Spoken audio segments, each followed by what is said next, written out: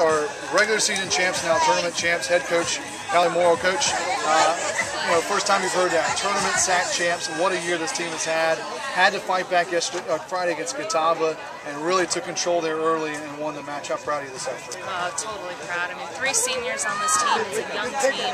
Um, I think we've had a little bit down in the last third of the year, last third of the season, but just to see the difference in uh, the start to Friday compared to the start to Sunday tonight.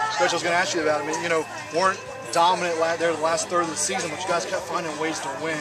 That was the situation on Friday. You know, how much of that was a part of this team's success? I mean, I think they needed an instance like that. They needed something like that to know that in this tournament, if they already go down, they're going to find a way to be able to come back and scrap and keep alive. But uh, it's scary. It was scary on Friday. Catawba, great team, young team as well. They work hard. Uh, it was. It was a rough game. Coach, talk about your back four today. Uh, two first team all conference uh, forwards for Wingate. Really didn't get much going. How proud of you them? And again, as you said, a young effort. Uh, you know, Stamey just a sophomore, the rest of them freshmen. Right, what, what right. a team. Right. I know we talk about that. Stamey, you know, she's taking that role as a as a communicator. Um, I think she's done a great job with the young back line. Um, you know, Jade's a great player, great player. We are kind of lucky. I mean, two shutouts against Wingate with a potent offense.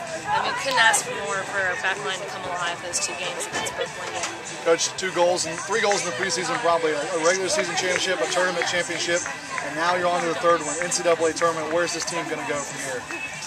One day at a time. You know, we're, we're, we're kind of banged up right now, but it's, it's it's actually on the up right now, so it's good. I think we're going to take we can use a good four or five days. We'll see what happens in the uh, in the seeded tournament come tonight and tomorrow, but. Uh, we're ready. We're ready. Coach, congratulations. Uh, two for two in your SAC regular season championship. Good luck in the NCAA Thank tournament. Thank you very much. Thank you.